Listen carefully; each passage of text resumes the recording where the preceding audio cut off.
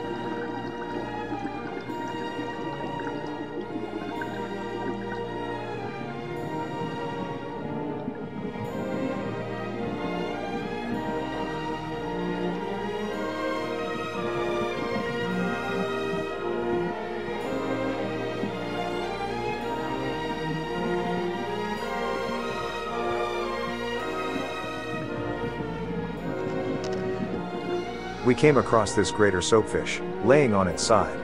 This is normal behavior for them.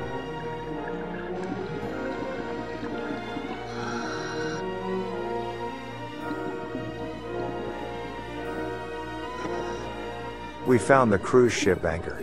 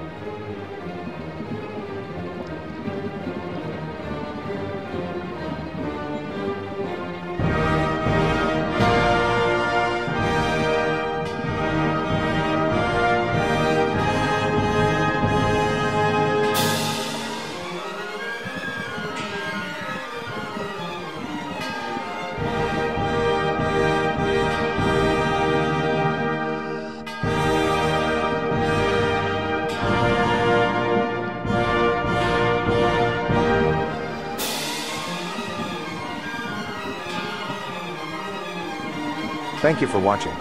Please click like and be sure to subscribe.